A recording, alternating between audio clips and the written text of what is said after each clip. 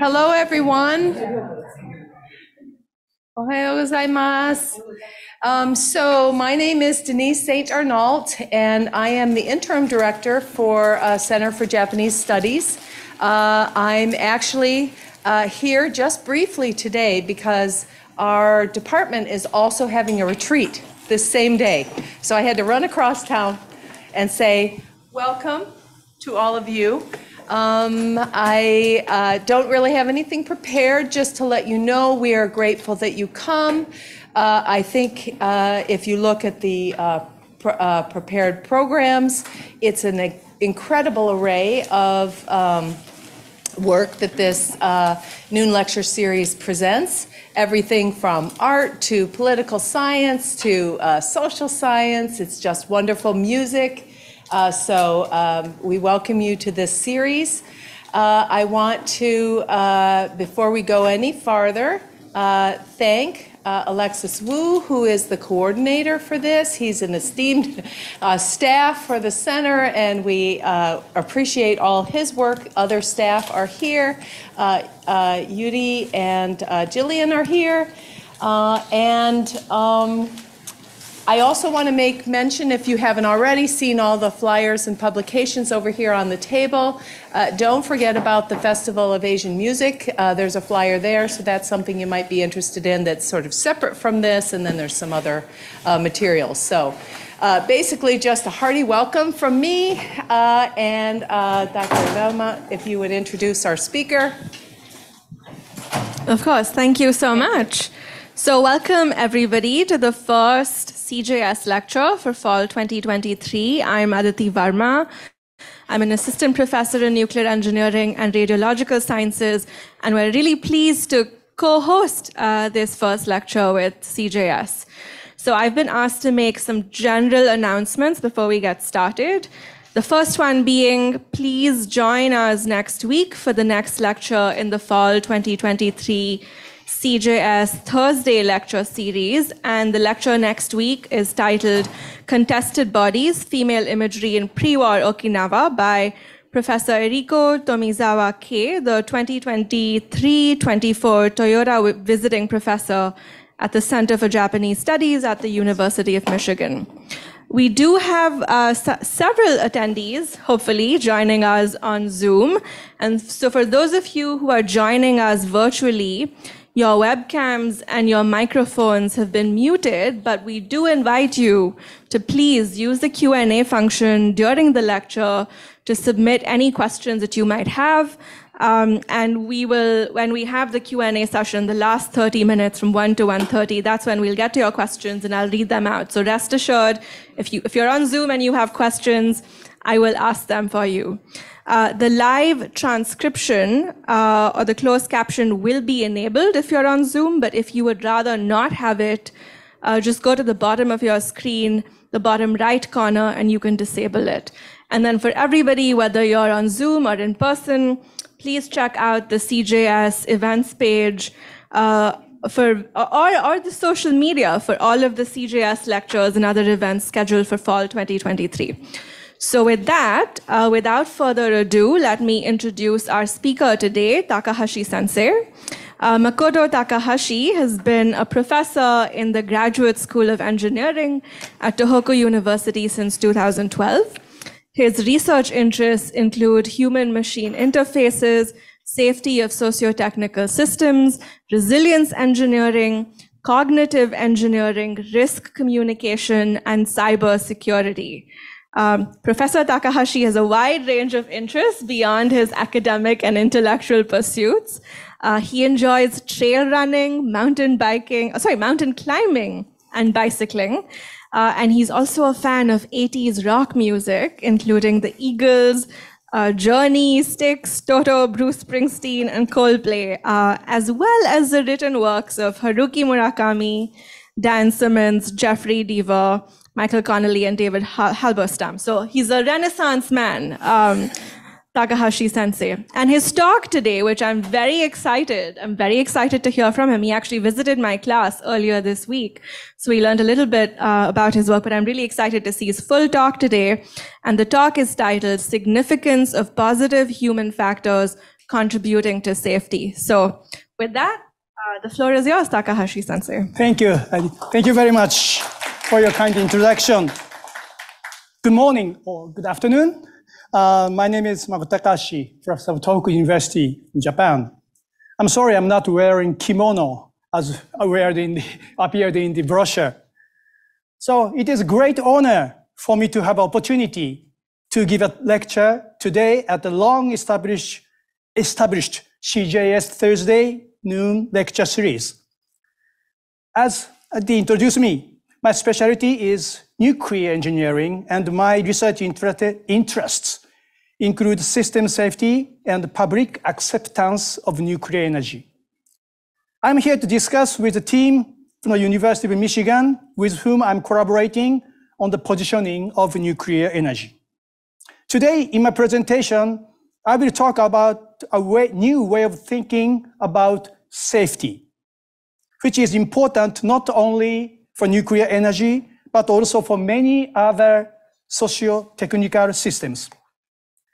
Before I get down to the business, let me tell you a little bit about my memories of University of Michigan so University of Michigan was actually the very first university I visited when I first came to United States.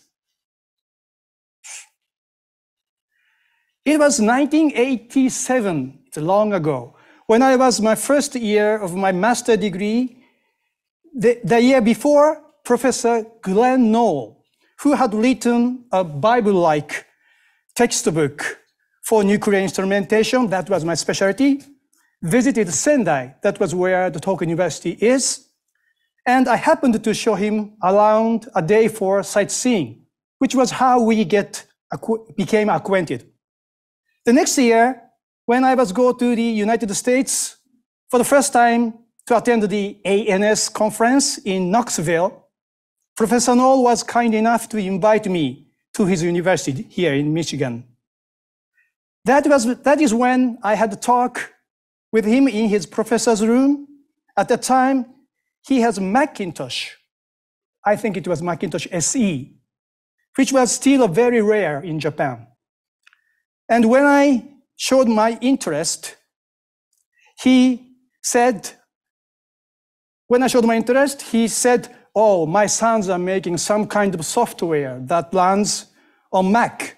I don't really know what it is. He told me. Of course, you know the story about it. I saw the very prototype of Adobe Photoshop. And Dr. Knoll was the father of two geniuses, one who created Adobe Photoshop, and one is working for Industrial Light Magic, and he is a chief super eh, visual effects supervisor of all of the Star Wars series. So this is my first memory of the University of Michigan. Oh, I'm sorry, I, I, I forgot to turn off this one. Okay, that I'm going to do my talk. The title of my talk today is Importance of Positive Human Factors Contributing to Safety, Insight from Safety-II Concept.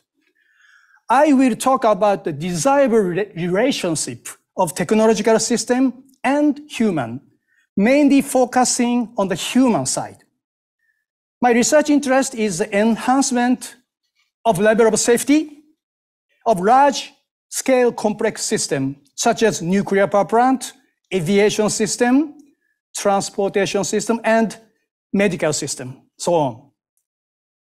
Systems have become large scale and complex, not only in the number of parts and components, but also in interactions among systems and human.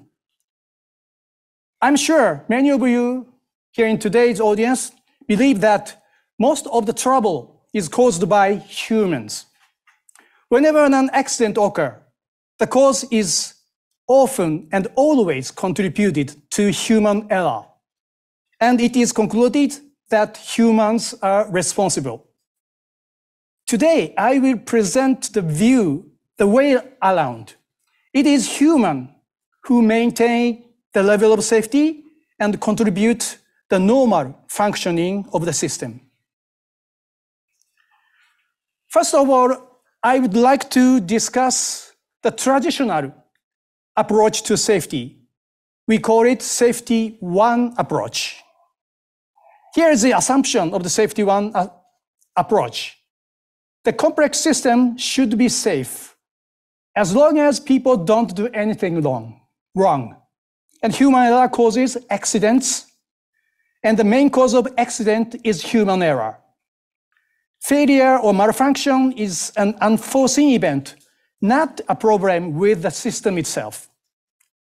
And systems stop working because of the innate unreliability of humans that is brought into the system. In summary, human error is a cause of the accidents, and humans still remains a threat to inherently safe system. In this slide, I would like to summarize, also summarize the safety one concept, conventional and so-called compliance-based safety approach. In this type of approach, it requires to follow rules and regulations quite strictly, and severe penalty is imposed for those violating rules. And level of safety is determined based on the performance indicator, such as number of accidents and injury. And long period of injury-free and incident-free performance directly means higher level of safety. It is, is this really so? This is example of the some against it. This is the, in case of the huge accident of the Deepwater Horizon, that is a drilling ring on the sea in the Gulf of Mexico, which caused the well blowout, which killed 11 people after six years of injury-free performance record. This is a typical example of that the assumption does not hold. So this is a fundamental question against the safety one approach. And this is about the conventional approach also, and the safety measures derived from these assumptions I talked in the previous slide. One is to tighten procedure or increase, increase the number of rules to follow. And another one is in, introduce technology to monitor human actions or repress the actions themselves with machines in these days, artificial intelligence is making these things more fast and faster. People try to repress the human with artificial intelligence, ex expecting that it's more higher level of safety. I don't think so. So, however, simply strengthening, strengthening these measures is not sufficient if an even higher level of safety to be achieved. Simply strengthening these measures may have the opposite effect.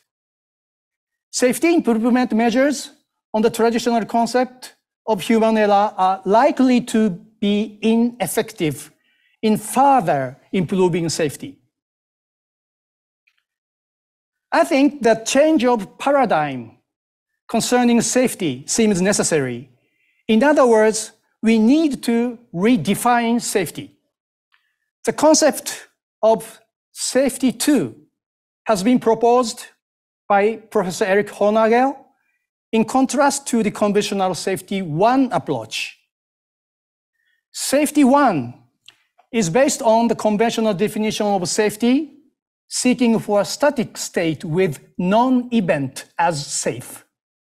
Char characteristics and behavior of each equipment and system structure are fixed and known, and expected human behavior are also known in advance, as shown in the instruction manual. Safety one approach is also characterized as centralized approach or compliance-based approach. On the contrary, safety two is characterized by safety, including dynamic failure avoidance and recovery, and potential for adjustment to deal with change. Once again, here, problem is to find the answer to, for how can we enhance the level of safety of the system features already be highly safe and reliable. In general, this is about uh, how can we enhance the level of safety, uh, that question. In general, the number of fatal or critical accidents has already reduced significantly in the system such as nuclear and medical system. Here, let's assume that rate of the accident is 10 to the minus 3. Remember, this is not acceptable risk. risk. That if accident or failure occurs, one failure out of 10,000 success cases is analyzed very much in detail and lessons are extracted. Of course, running from failure is important, but now failure tends to be so rare case as the system becomes more and more safe. How about success case? Success case are out of interest and no lessons learned from these cases. I believe there are many lessons to be learned from in these success cases. The point here is good practice exists not only in emergency, but also in normal functioning. Okay? This is why we need revised and new safety concept that we call safety two. I would like to lay out some basic facts behind safety two here. First, we should be aware of the limitations of our ability to understand socio-technical systems and to foresee and predict possible outcomes. With that in mind, what can we realistically do to, to secure the system? It is not about zero failure or anticipating all risks and preventing them from materializing. Rather, it is about increasing resilience potential, which I will talk later. What can we do to increase our resilience potential? Now here, we'd like to summarize a little bit confusing. I'm sorry, this is, order is not so correct, but the, I would like to summarize here the character, characteristics of our target system in terms of complexity. We have two types of complexity. Type 1 complex, in other words, complicated system, are because, complex because of the large number of elements that makes up, make up the system, and there are many interactions. Systems that require a large number of parameters to describe the behavior of the system such that a change in one parameter affects many others. In such cases, no matter how complex the system is, the cause of the trouble can always be found by tracing the cause and effect relationship. In other words, elemental reductionism is valid in this case. But how about the system in the right side, so-called socio-technical systems? This is just an example from the operating room in, team in the surgery, doing surgery.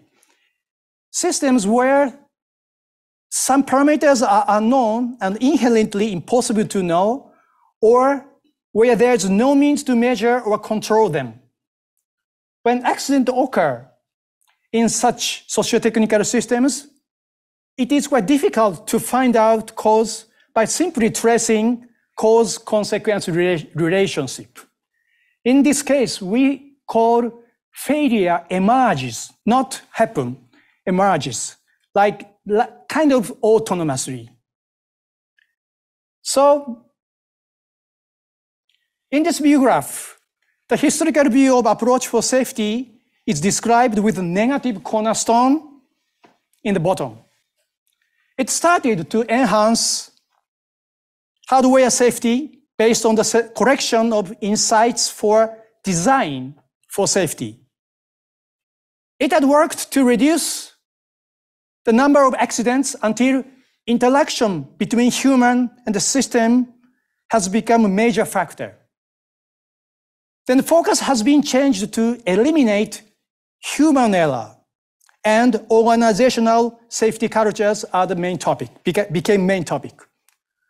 Common features of this approach is so-called find and fix paradigm. It has also worked to reduce troubles until the number of troubles becomes quite small, which means becomes much more safer. The question is, again here, is how can we enhance the level of safety of the system, which has already be highly safe and reliable. This slide summarizes assumptions on which the find and fix approach is based. First, there is definite cause for things, there is results, and it is constant. And whole can be broken into down into parts, and the parts are combined, they form a whole. This is another example that the elemental reductionism is established. The outcome of function or human action can be categorized as success or failure, definitely. No in between, nothing in between. And the cause can be defined and it can be removed. This is a firm belief behind the find and fix approaches. Some, but in reality, sometimes these doesn't, some of the one is does not hold. Think about some same, same situations. The very complex and complicated rocket system, rocket engine, that is also, but however, that reductionism falls in that cases. However, how about the, the case in the surgery where people are interacting each other, helping each other, and using some medical devices? This is, there are many complicated, uh, complex interactions among them. So when some accident or happens in the, in the surgery, now people try to pinpoint the failure, cause of the failure by using the old-fashioned safety one approach. And then, oh, this nurse is responsible for the accident. But in this case, it is quite difficult to pinpoint the one sole failure, uh, cause of the failure. So, in order to deal with the highly complex system and maintain the higher level of safety, the importance of performance adjustment by human should be emphasized, is emphasized in the safety two concept. Performance measurement, referred to as the adjustment to ensure or create work-friendly conditions, adjustment to compensate for what is missing, adjustment to avoid the possible future problems. And the point is, instead of choosing the best of all options, find a usable and usable alternative under conditions of bounded rationality. And when performance adjustment work well, they become a routine practice that is relied upon. And monitoring and management, managing performance adjustment ensure that things work. No matter how much people try to improve safety through the performance adjustment, sometimes accidents occur. And this is the interpretation of how accident happens happen in safety 2 concept. It is because we have the limitations of human performance adjustment. That is because human adjustment must be made with limited time and information. In other words, have to be done in the limited resources. Therefore, they must face and come to terms with the trade-off between trying to be efficient and trying to be perfect. There's a trade-off. So we call it efficiency, thoroughness, trade-off. We call it ETTO. This is one of the reasons why the accident occur even when the people are trying to make human performance adjustment. And Because of these reasons, human adjustments are always imperfect. In other words, rough. So I'd like to show you one examples from the 2001 March 11 great disaster in Tohoku area. This is about the local line connecting Sendai and Ishinomaki. At the time of the earthquake, two trains inbound and outbound leave the one station called Nobiru Station at the same time. And just after they leave, the earthquake occurs and train stopped. According to the JR internal rules, train crews are expected to direct all passengers on board to the nearest designated evacuation location, which was Nobiru Elementary School. The crew guided in the up, outward mm, inbound train, the crew guided all the passengers to the designated location. And the, when they reach the location, tsunami hit the site and several people died. On the contrary, the outbound train for Ishinomaki also stopped just after leaving the Nobiru station. When train crew gathered 50 passengers into one car and suggested to evacuate to the Nobiru, Nobiru Elementary School as the following the rule. But one passenger uh, from the near area, he suggested not to do so. He anticipated that staying here in the train is safer because we are on the hill, on the rise. And others, all the others followed his suggestions. And tsunami stopped just before the train. Of course, surrounded were flooded, but they survived. All of them survived. What this incident imply? It is important to avoid hindsight judgment. It is quite easy to say, oh, just following the rule sometimes have some negative consequences.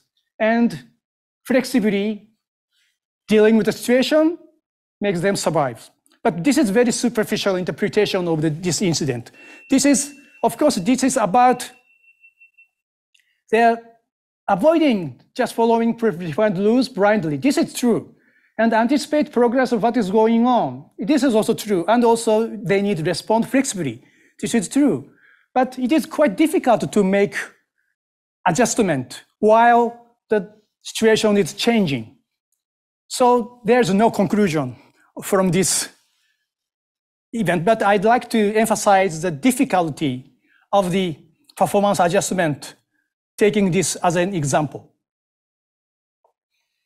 So this is about the comparison of the safety one and the safety two approach. The objective of safety one is to increase the things that go, no, no, to reduce the things that go wrong. On the contrary, for the safety two, we try to inc increase the things that go right. And the basic principle for safety one is find and fix. And in safety, for safety two, share good practice and apply. So this is quite mm, easy to understand when I use the health analogy. In safety one is to avoid disease and injury, to decrease the number of the disease and injury. And for the safety two, it is it seeks for the better health. So maybe safety one and safety two inherently the same and from other viewpoint. But the main di differences of safety one, safety two is the basic recognition between here, and also the role of the human. In safety one, role of human is to follow safety operating procedure. But in for safety two, use safety operating procedure for, for reference and seeking for the better. This is a main difference of safety one and safety 2. And here I have to emphasize the relationship of safety 1 and safety 2. When safety 1 represents an approach to safety that in many ways differs from safety 1, it is important to emphasize that they present two complementary views of safety rather than two incompatible or conflicting views. Many of the existing practice in safety one can therefore still be used, although possibly with different emphasis. And effective performance requires both that people can avoid that things go wrong and that they can ensure that things go right. Okay, and I, would like to go on to the concept of resilience engineering. Resilience engineering is a concept to ensure, to, uh, to enhance the safety in the act actual practical field based on the safety two concept. In other words, resilience engineering is how to engineer the safety two into the existing system or organization. Resilience engineering is a concept for enhancing safety of socio-technical systems where humans play important roles. The definition of safety in resilience engineering is the ability to succeed under varying conditions, in contrast to the traditional view of freedom of unacceptable risk. In resilience engineering, emphasis is on things that go right than things go wrong, and stresses on understanding of normal functioning of socio-technical systems. This graph roughly explain about the concept of resilience. The vertical axis, vertical axis is system performance, and horizontal axis, time. And the, here in the B, in the uh, B, it's a normal functioning and the system is stable. And something happens, disaster or accident, and then the performance degrade. And the resilience corresponds to the how quick the performance recover to the normal functioning. So the system with quick recovery is called system with high resilience, very resilient system. And system who requires time, longer time to recover from the degraded state uh, is referred as the system with low level of resilience, which is not resilient. And the point here is even if the time of steady operations, there are some performance variations, fluctuations, and variability of everyday performance, and also corresponding adjustment exist by the human, even during the normal operations. And the organization who is good, who is good at doing the adjustment in the normal time is also performs good at the time of the accident and also tend to have higher resilience. This is just some um, theoretical assumptions I have never uh, evaluate in the actual during the system, but it is just an assumption.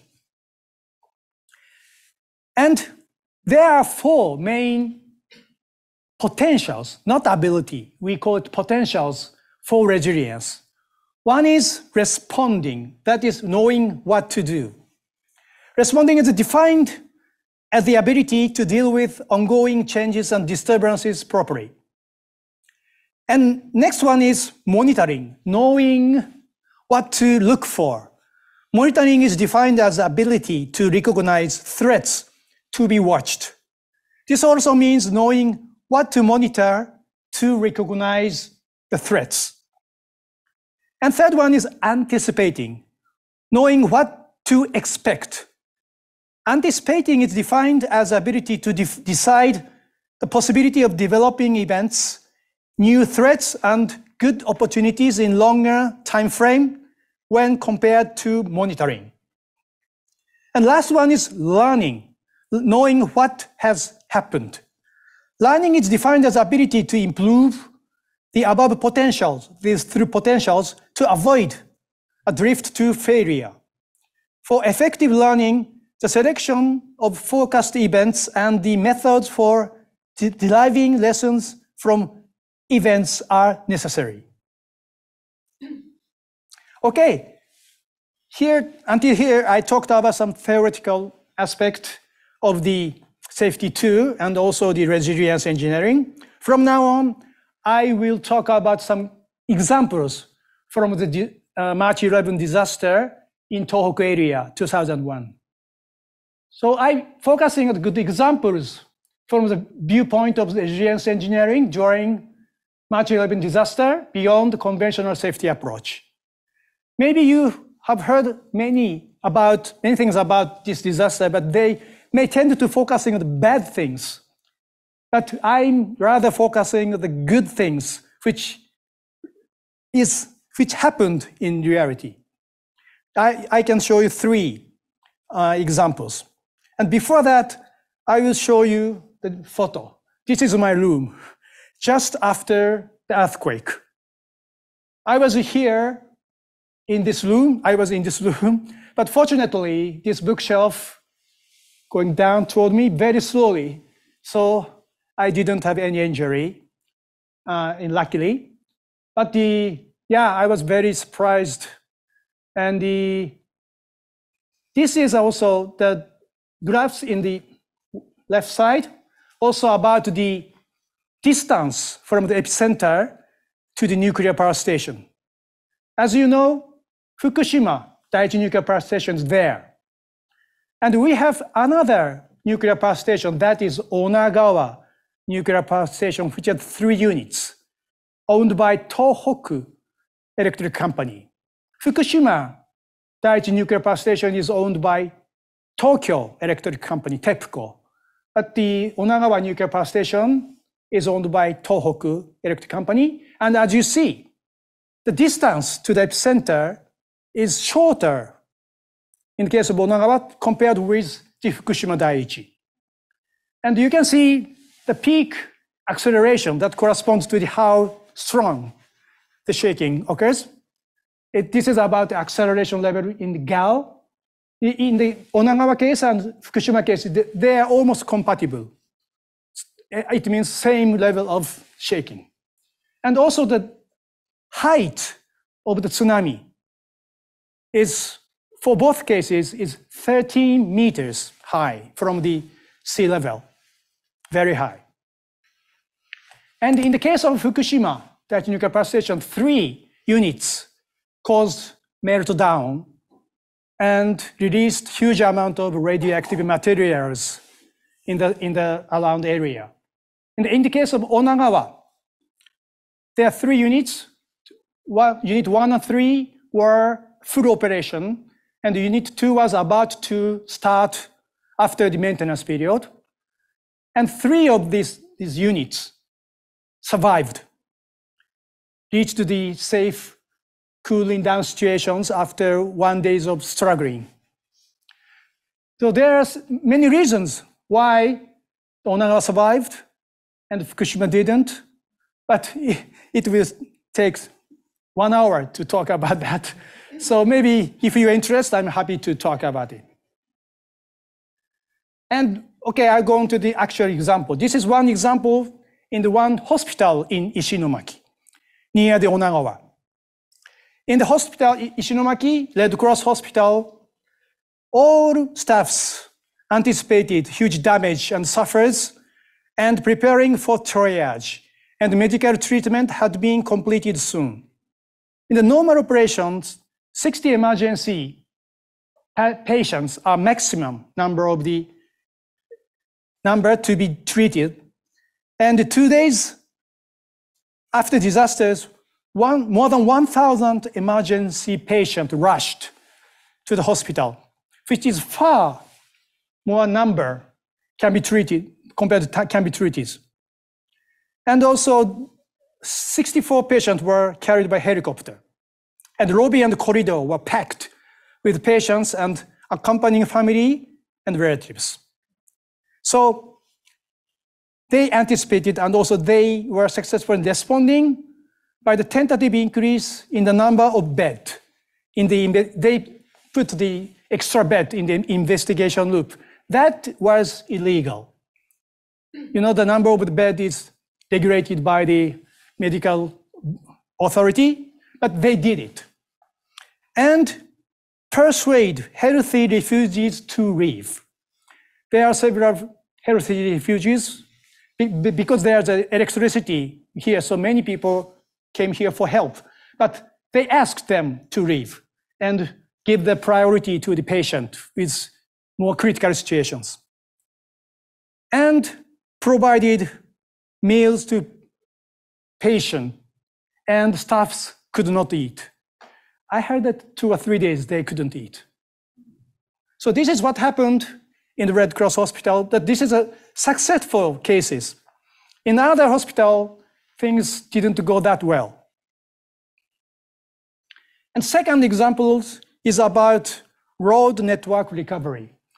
As the earthquake was very severe, the many of the road is damaged. And road is very important to carry the materials, food or materials to carry to the suffered area. So they, the point is the very successful uh, treatment of the this time of the head of Tohoku Regional Development Bureaus. There's one key person who, who was successful with, and the one is monitoring of the route.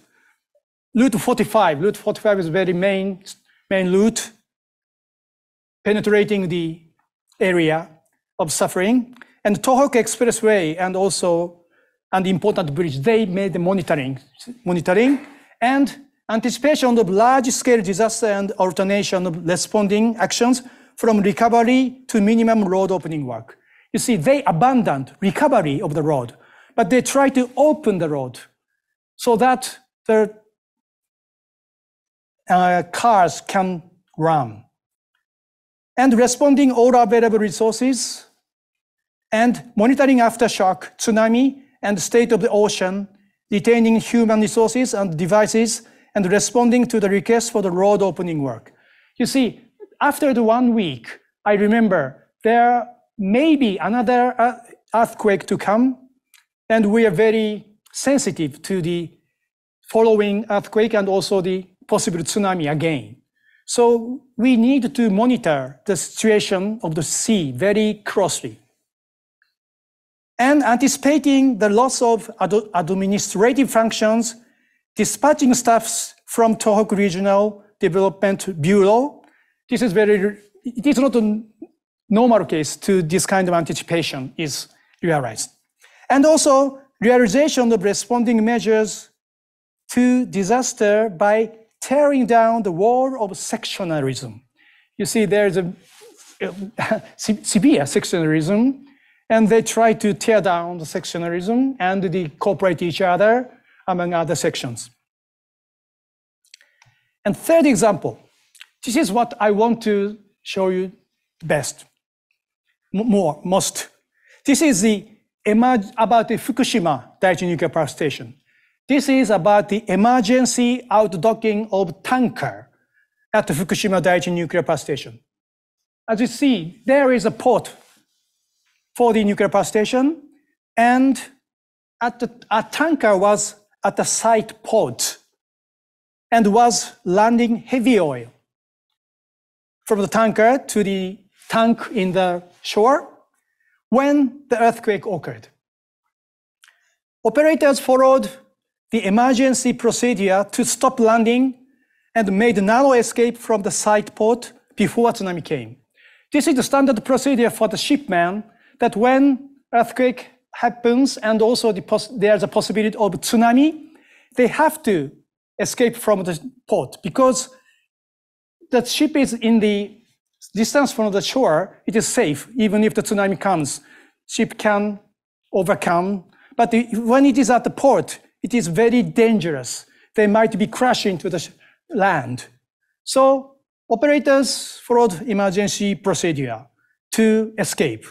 However, the time from the earthquake to the tsunami was only 45 minutes. 45 minutes is not long enough for the ship to be ready for the going. You see, they, they need to warm the engine and it, it requires at least one hour for the cold state to start to move. So they realized that they, the time is not good enough. So they intentionally cut the oil fence surrounding the ship. They have to set the oil fence in order to the oil spill to the water, to the seawater. But the, they cut the oil fence. This is not the standard procedure. And also they also cut the piping connecting the tanker and the tank on the shore. So they maybe that was rubber and they cut the pipe.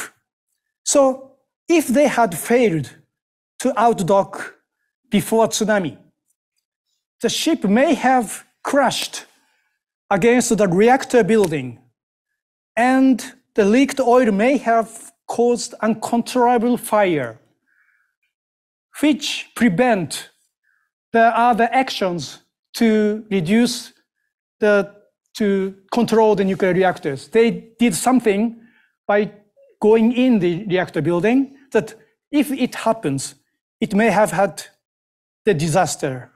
And the situation be, became far worse, which has actually occurred compared with which actually occurred.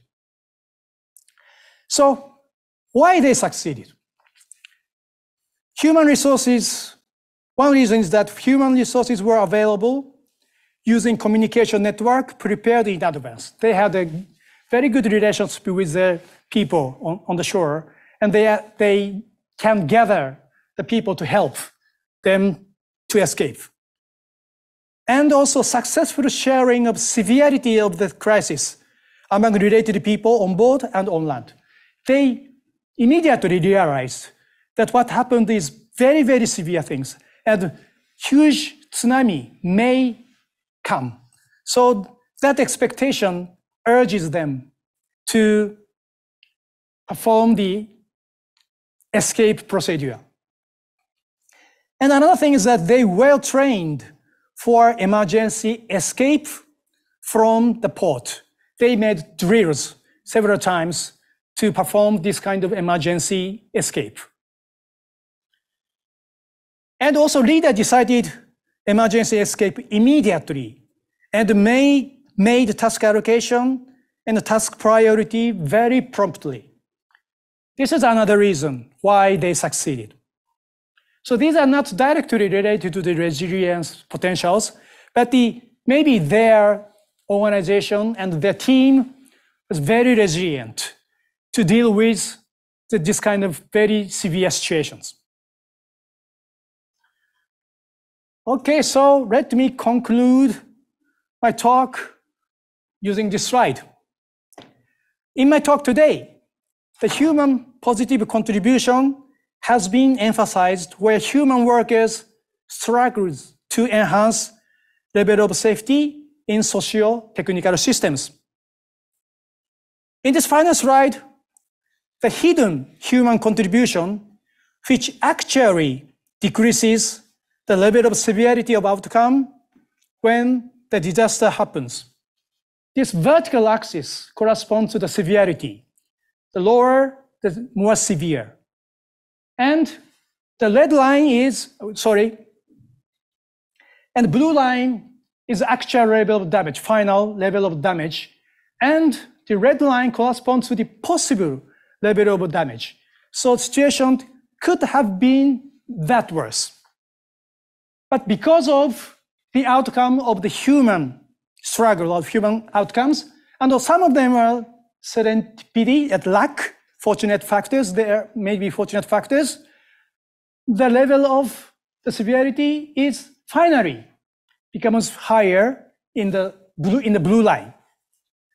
But we cannot see this part, human contribution. So what I want to emphasize here is we better, we have to more focusing on the human positive contribution to the safety level. So human are not the one just committing human error, but are inevitable component and one to maintain safety. Thank you for your attention.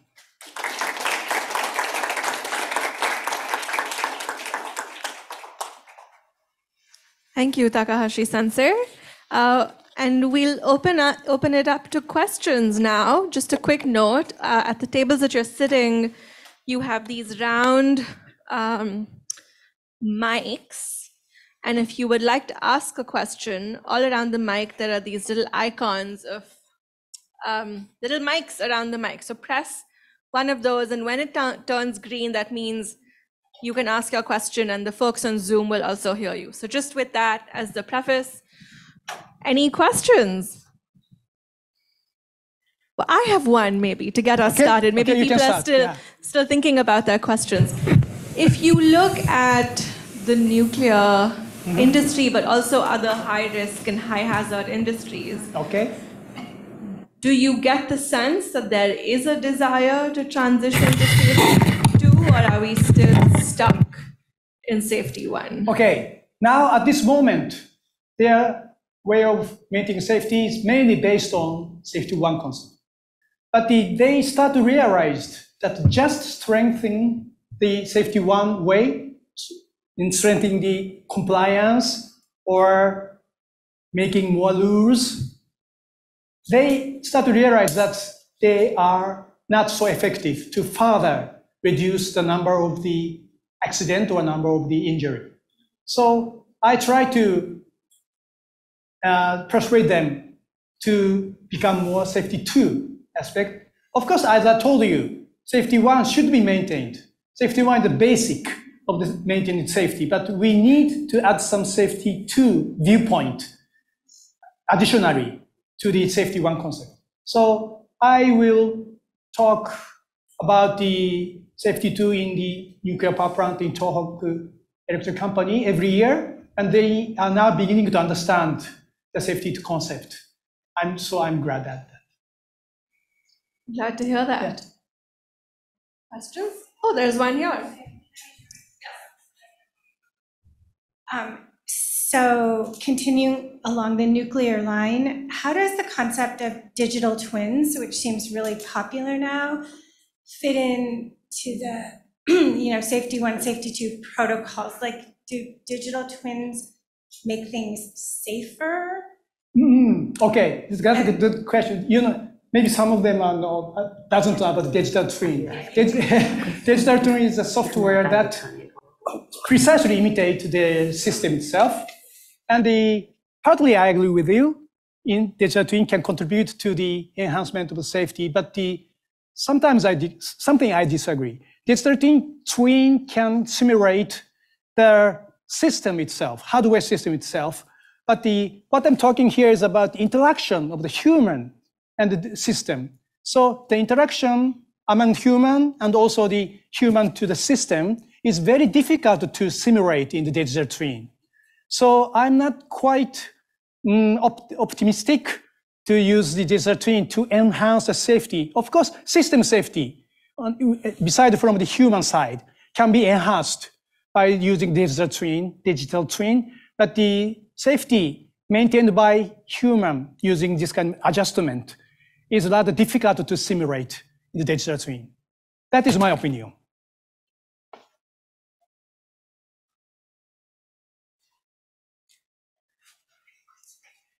Oh, you have a question? Yes, please go ahead. Oh, actually, let me show you, let me show you. There you go. Oh, thank you. Uh, Thank you for that interesting presentation. And you just mentioned about the two um, nuclear power plant, Onagawa and Fukushima Daiichi, and uh, I understand it's taken maybe long, long time to explain the you know difference uh, between Onagawa plant and Fukushima Dai- uh, Daiichi plant, what they did. But can you just give us kind of you know brief? Okay, okay. Yeah. Comparison Right. two products. Okay.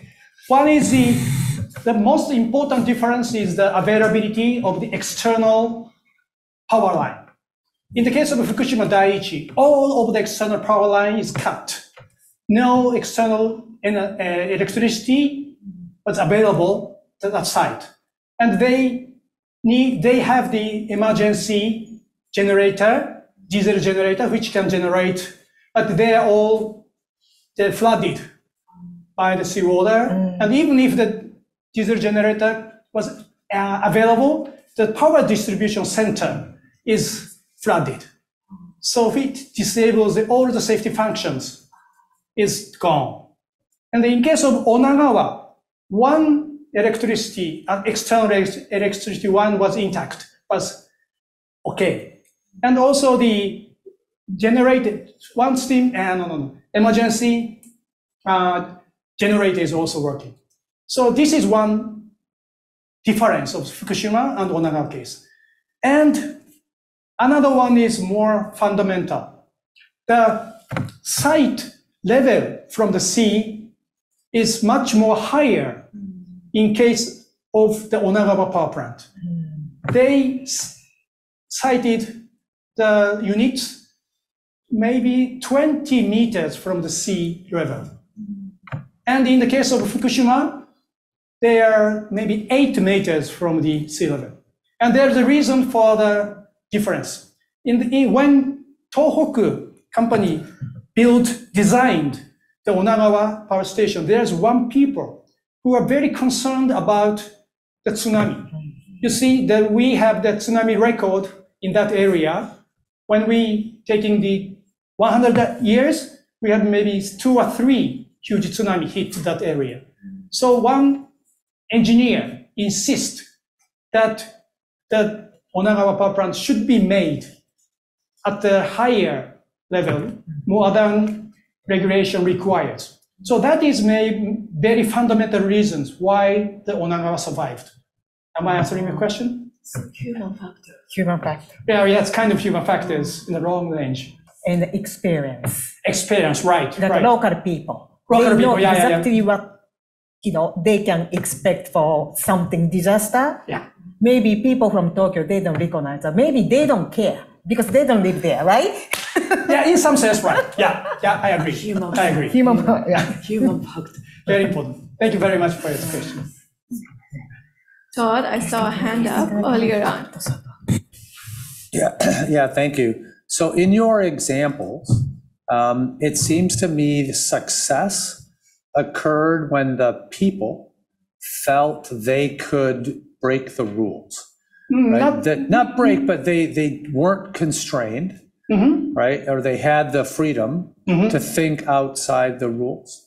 So is part of safety two, the way we teach or organize um, teams of people to give them permission to think outside Yeah. Routine? It is very essential question and very difficult to answer.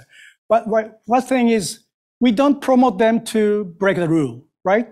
And the, when you break, there's, you you see, the rule is have not been made to cover all the possible situations. So there might be some situations you need to deviate from the rule. But when you deviate from the rule, you need to know what is the kind of negative effect of the deviation from the rule. So it is the decision from the uh, decision when we decide to break or deviate from rule, you need to understand that why this rule is exist. So without such kind of understanding of the rule, just deviation of the rule is not good. So I am very careful to talk about these things. I'm not promoting, I'm not promoting to deviation from the rule. But the sometimes you need to deviate from the rule. So the decision So I'm now the, what is one of the research topic in my in my research topic? How can the people can decide and how reliably decide to uh, break the rule? Am I answering the question?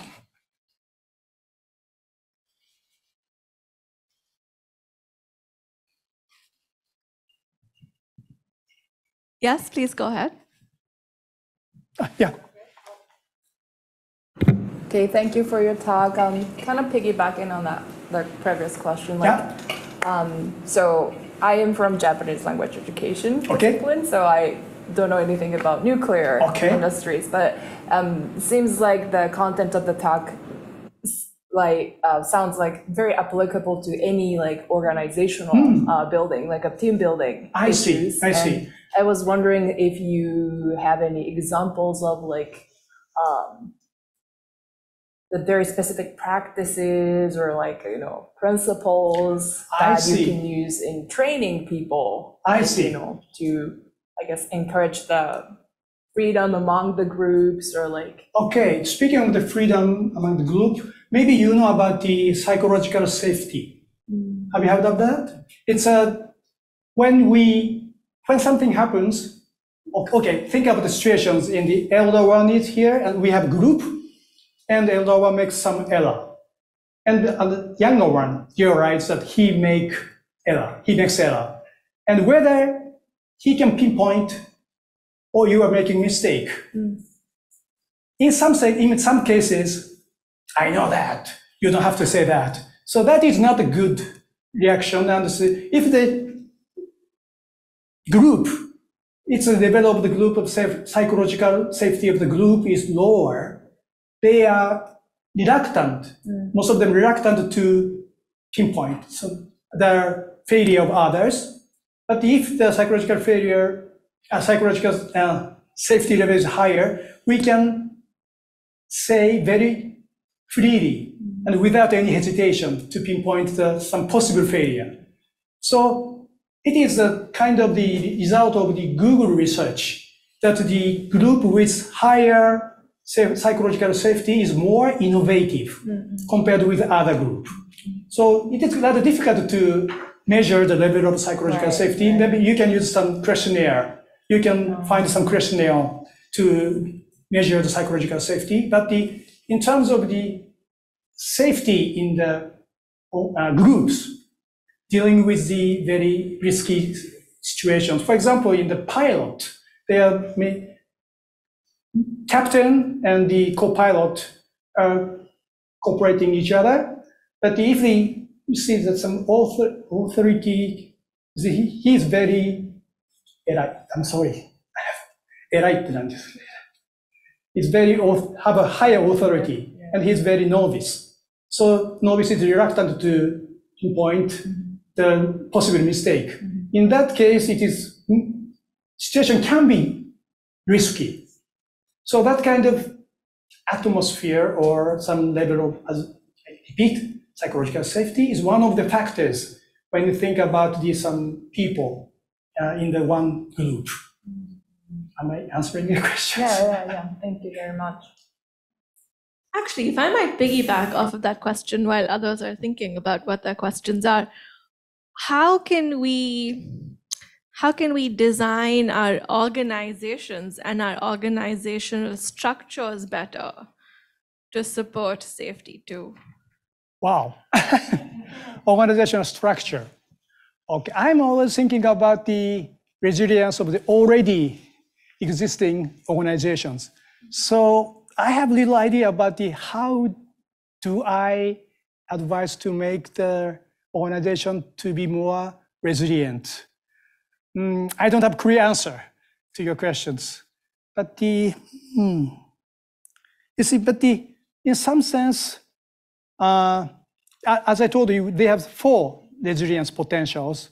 So maybe the potential for learning is very important. So if there's one company, the, the important thing is to share, not organization structure, but also they, they have to share their events or what happens and also the lessons learned for, among, among the organization, uh, groups of the company or organizations.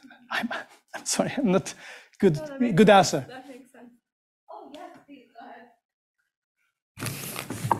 So I know one of the things that you said was like drifting towards failure. So do you think that there are industries that are regarded as safe but actually are just in a state of drifting towards failure? Uh, I see. Once the failure state is accomplished, they tend to think they last forever, but it doesn't. It will not. They always drift to the failure. So what we need to know is, you know, we are, if we are drifting, we have to know where we are now and we are headed for. And there is the kind of distance, we, the concept of distance to failure. See, we, when we're dri- drifting and there's some edge here, and if they come to the edge and we make failure. So we need to know which direction we are drifting and also which we are. But in case of Fukushima accident, I think I know the people in TEPCO company very well. They are very much safety concerned. Some people say that, oh, Tokyo Electric Company doesn't think anything about the safety. It is not. They are very much considering about the safety. So they are also, but they're drifting. So they are drifting these directions and they think that their distance to failure is enough. But in other directions, distance to failure is very short. So that is where they fall down and they made it. This is my interpretation of the, what happens in the Tokyo Electric Company. Am I answering questions? Yes, thank you.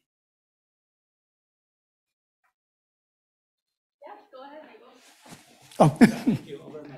yeah. Uh, Thank you, and a very interesting talk.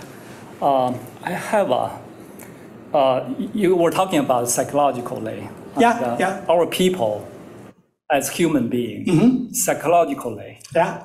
usually don't want to listen to people if nothing mm-hmm. bad happened. I see. You know what I mean? For example, just like a teenager, mm-hmm. if you let them know and uh, do this is good, please obey the law, they won't listen to you. I see. Only when something bad happened, they learn from the lesson. From that perspective, so what do you think? Any comments? How would you like to uh, promote uh, your safety two? I see. It's a very good question. I have to encounter. I first encounter. First, I, we are not dealing with kids. We are dealing with the matured professional Right. who are very intended to be safe, but sometimes they made error. They made some trouble. So if they are well intended, maybe we can ask them to listen to me.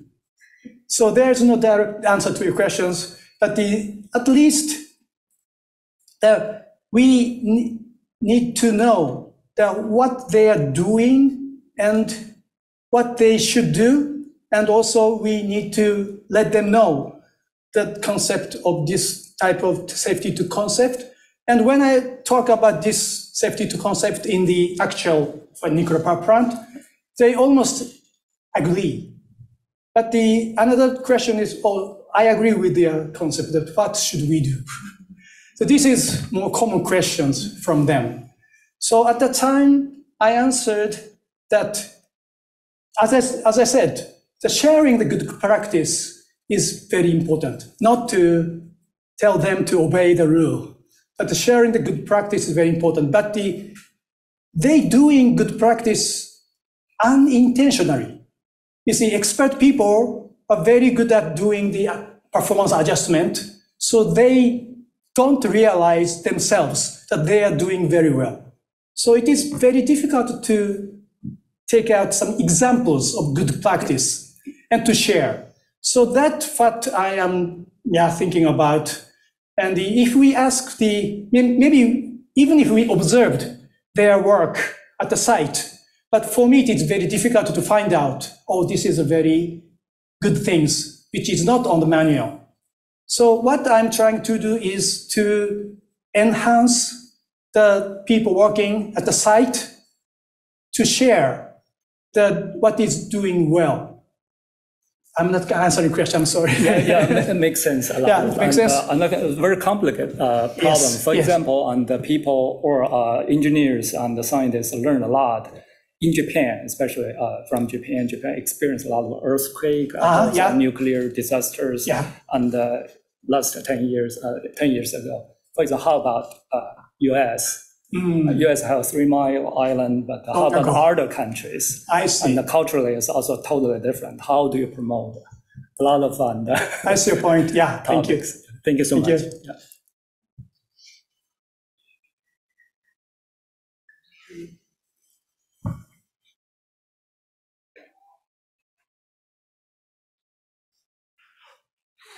Oh, do you have a question, Yuri? I'll ask one more if that's okay. We, you know, in many sectors of industry and technology, we're headed towards greater automation, reducing the role that humans play in these complex socio-technical systems, which perhaps also correspondingly means that the people who operate these systems, their training is also changed so that perhaps they don't understand these systems as well as they once did. And so in, in this world of growing auto, automation, hmm, hmm. the- you know, AI playing a, a larger role, the training of the operators changing. How, how, hmm. wh- what are your thoughts on how we oh. might nevertheless achieve safety Okay, too? yeah, that's a very good question. I'd like to mention, also mention about the automation. I hate it. First of all, yeah, no, no, no. But the, I understand that the introducing such kind of automation and AI technologies makes the operators load less, and the resulting in the lower knowledge about the when something happens, which automation cannot handle. They, it, the operators may have to abandon. So I think that just introducing automation and AI technology may result in the degraded safety, I'm, I believe. Because what, who designed the automation? Human. And who maintain the system? Human. So sometimes people say, oh, if we automated 100% autonomous system realized, we can do, we, have, we, we don't have to do nothing. We do anything. But that's not true. We have to maintain, and some error might be in the software, which human make. So automation does not, may not be a solution to the uh, system in this time. This is my belief. So I don't like the people who say that, oh, AI can solve everything. I don't like, I don't think so. AI is also made by human. And also, some people say that AI autonomously run and the and the some developed in, intelligence becomes very higher in the singularity come, but I don't think so. We still need human to maintain the system. And in, in case of the yeah, that is I my very uh, concern that the even if the automation system is better, better and better, and then our ability to control and understanding of the system becomes lower and lower and lower. So maybe we need to something do to keep our uh, skill or knowledge level not to decrease, even if the system becomes more autonomous and automated.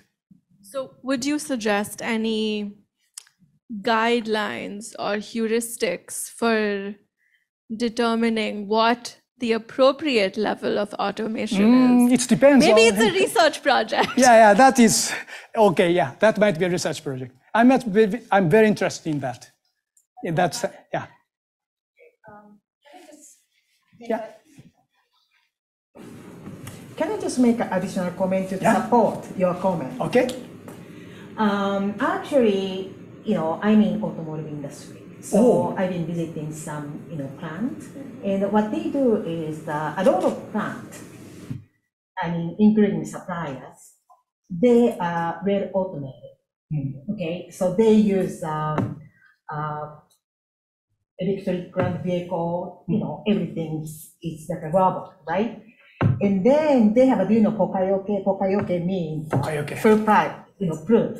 And if something wrong, they just stop the line, something like that.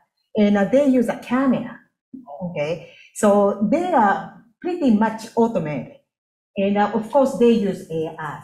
However, what they do is, if something happen, and uh, if they just found uh, any non-conformity or whatever the issue, Mhm. They have a video Oh. uh-huh. because they have a camera. I right? see, I see. So the human being, engineer operator, take a look at and find the causes. So they exactly know what's wrong. I see, I see. Yeah. So Very interesting. Very interesting. But the human is always monitored yes, by the camera. Yes. Which they don't like. They're always monitored. Even if the, as she said, that the automated systems exist. It's a collaboration with the human and such system is not good at this moment. This is my belief. Thank you very I much. just yeah, I just thought about it. You know. Thank you very much for a good comment. Yeah. Um, thank you for a really interesting talk. I was wondering if you could speak to how like public opinion or media interact with these, because you mentioned people thinking that, oh, the energy company doesn't care about safety. Does that interact with how these like two safety models operate? Or, you know, I'm trying to, sorry, it's not super articulate, but You're asking about the some media. media or public opinion, if that interacts with these These safety kind of things? Yeah. Well, they're not interested. Maybe they're always talking about the safety one aspect. Something happens, a human error. It is very easy to say that this is human error, that's all. But the, we need to more find out the reason behind the human error. So for the, for the media or general public, only understand the, what happens in the way of safe, safety one aspect, because it is quite easy to understand. Mm. But the actual, what happening is more complicated and more, yeah, holistic. Mm. But that is what the media doesn't want to talk about. Am I answering the question? Thank you very much.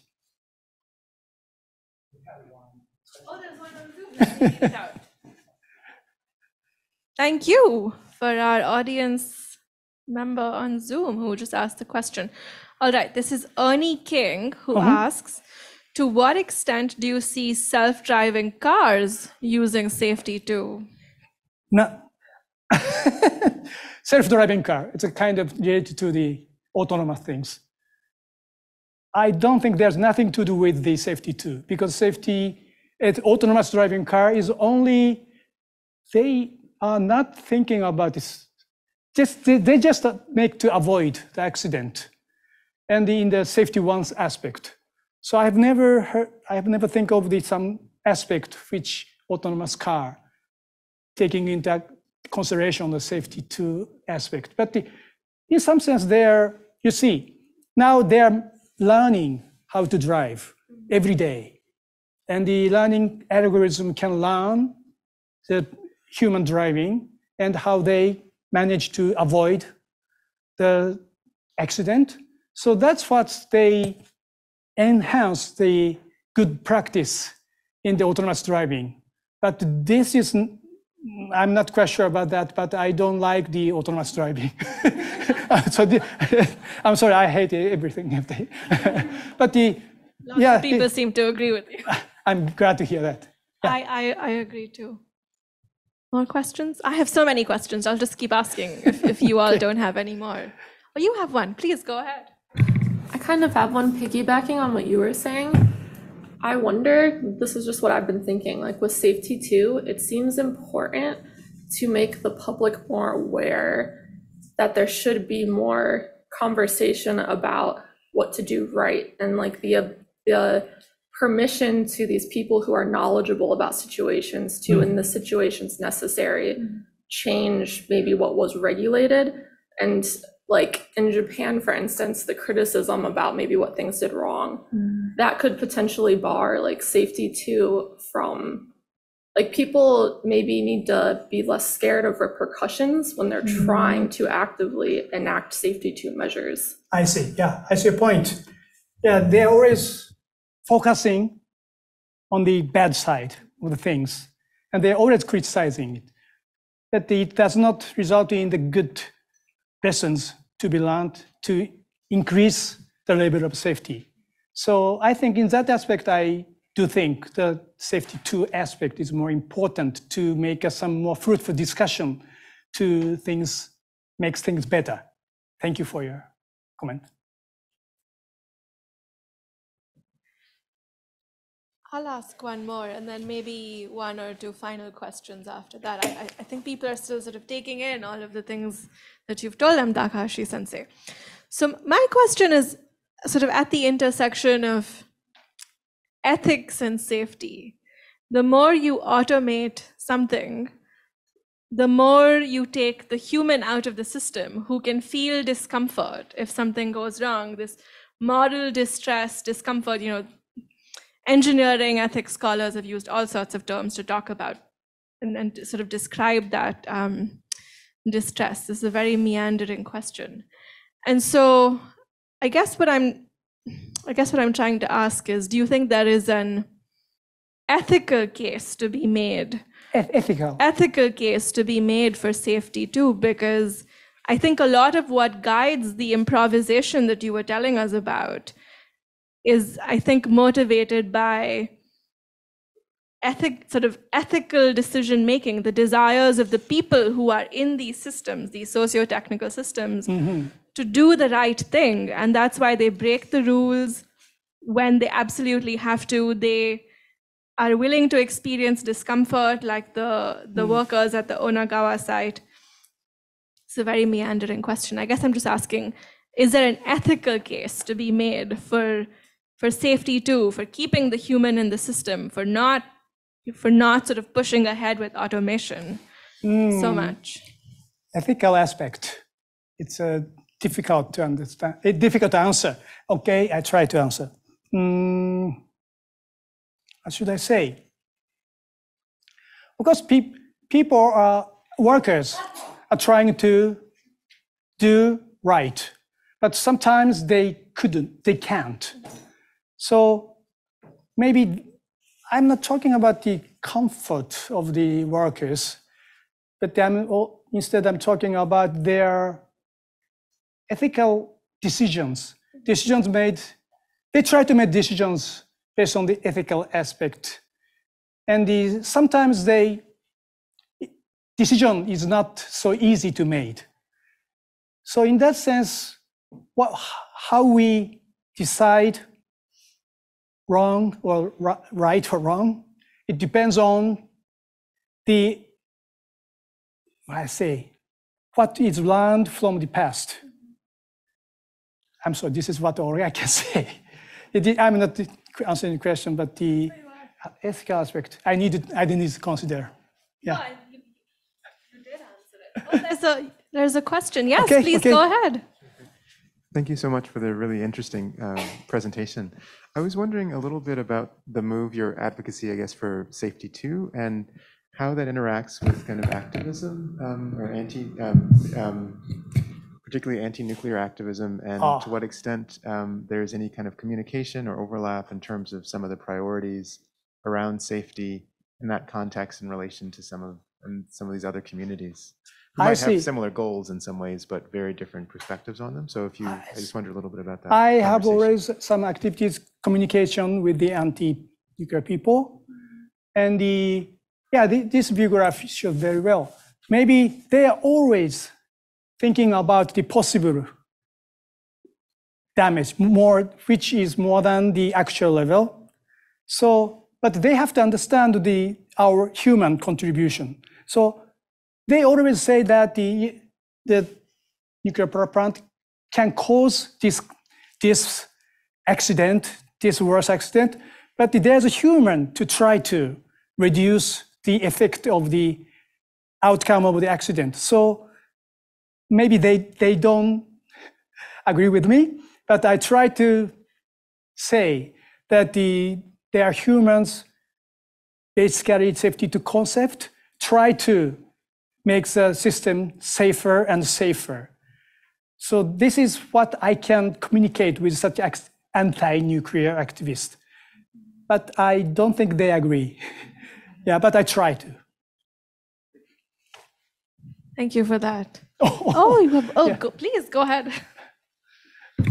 How do you think, as you've researched safety two methods can or account for the risk of negative human contribution to safety? So like they're tr- they think it's a positive contribution, but mm-hmm. it's not working out that way. How do you think it accounts for that? Well, there's always yeah negative aspect. I'm today I'm talking only about the positive side, but the there's always a negative side, but the which is almost about the safety one, and the adding the safety two concept that is focusing on things that go well, maybe as I said, it's complementary. Safety one and safety two. I'm not blaming the safety one concept. Safety one concept is necessary, and which try to reduce the negative human perf- performance. So, but the only the negative side, just pinpoint to the negative side, we are very much reluctant to go further. So, what we needed to praise them and the focusing on the good things that may that is already exist in the it, it is already existing in the every organization and good things. Am I answering question? We have the final question From from, my student. Takahashi Sensei's student. My student. So as same as you, I do hate the the optimization, like the the trend of the mechanization, but I do use the stairs instead of elevators, and I use PC instead of paper and pen. So, do you think it's possible to stop this trend, like this mechanization, automation? No, I'm always using the highly automatized material devices. Yeah, but the it is different from the using the elevator or such kind of the system which reduce our physical role. But now system is try to reduce our intellectual role. That is something different from the previous one. But you you you are using deep DeepL. Yeah, I'm using heavily DeepL to, for the translation. I, I I have to admit that I I see I understand the uh, benefit of using that, but still I do think that my English ability degrade. so I try to take this opportunity to re- re- revive my English. Thank you for your question. Well, thank you for that fantastic talk, Takahashi Sensei, and for taking all of our many questions. And thanks to all of you for your thoughtful questions. But let's join, let's join me in thanking Takahashi Sensei Thank you for very being much. with us this morning.